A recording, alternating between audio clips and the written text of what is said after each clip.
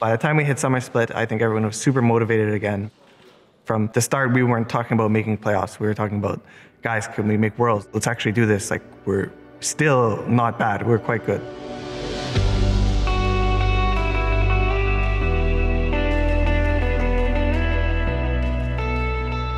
A lot of our issues in spring, I think, had to do with how our team was working with jungle and how our mid jungle specifically was working together. Trick was able to come in and just do a lot of teaching. It, it really, really helped. He brought our mid laner to the next level. And I think now they perform really well as a duo, you know. Uh, the way the roster was designed with um, a very aggressive jungler that I knew would be good at a lot of the meta champions. I had a very good idea of exactly how to draft and play the game from all of my experience basically at the World Championships for years. And I think we were just ahead. It looked like everything was going well for us. We kind of found this synergy and this play that really, really worked for us and everything was, uh, was going great. For making Worlds, which is, is our goal, for me, I, like, I should care if we're fourth or sixth place at the end of the day, but I really don't. It's either you make the World Championships or you do not make the World Championships.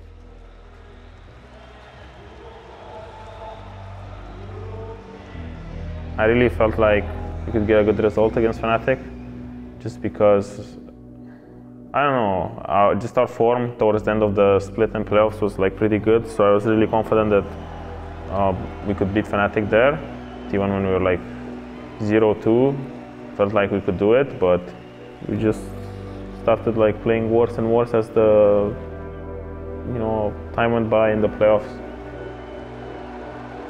We lost to Fnatic I think mostly to bad execution, basically. I wouldn't say Fnatic was necessarily better this day. I think it was bad execution. I mean, as a team, we kind of came in with the thought that like this finals is not that important and we can just use it like as an experience to become better. But our main focus would be the gauntlet in the next week.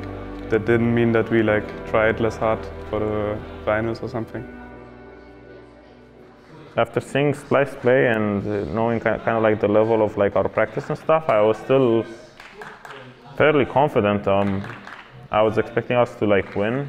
Um, I wasn't really taking it for like granted, you know, but I know, going into the series, I wasn't really like doubtful that we won't win. I, I really thought, I really, really thought that we would win.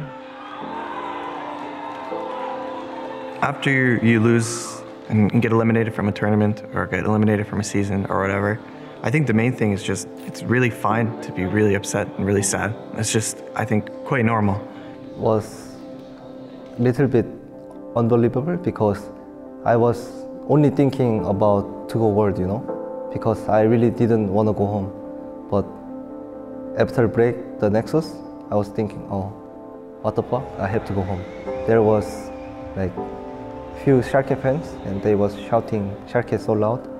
So I really didn't want to lose, but we got stomped again, you know, like even not like 3-1, 3-2 or something. And it just was sad. The way we played the last two series against Fnatic and Splyce just kind of showed that we don't deserve it to go to Worlds, I guess. And I was just like shocked that we were in such a good position and then we just like kind of like let it like you know slip because I think all the cards were in our hands to you know make some magic happen and we didn't so we have no one else to blame to blame but ourselves. I was mainly disappointed that because I thought that was like our chance to take it and we didn't manage to do it and I just didn't know like what what I'm gonna do now for like the next four months and like how everything's going to change and what's going to happen next year.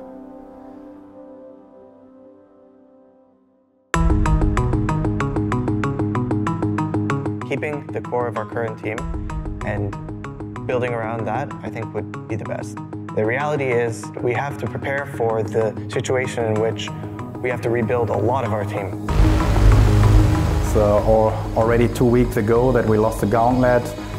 We have to review the whole split, but also the whole year. The question is, did we want to keep the players? On the other hand, did the players want to stay at Schalke? I'm actually, you know, like worried if I can, you know, like find a team. It has been three years and we had a lot of ups, but it's just time to move on, I think. We agree if we can sign one of these, we should do so. If I can sign both, would you like that? Yeah? This offseason was pretty crazy, for sure. This team can be super, super good. It can actually also fail. Yes, it can.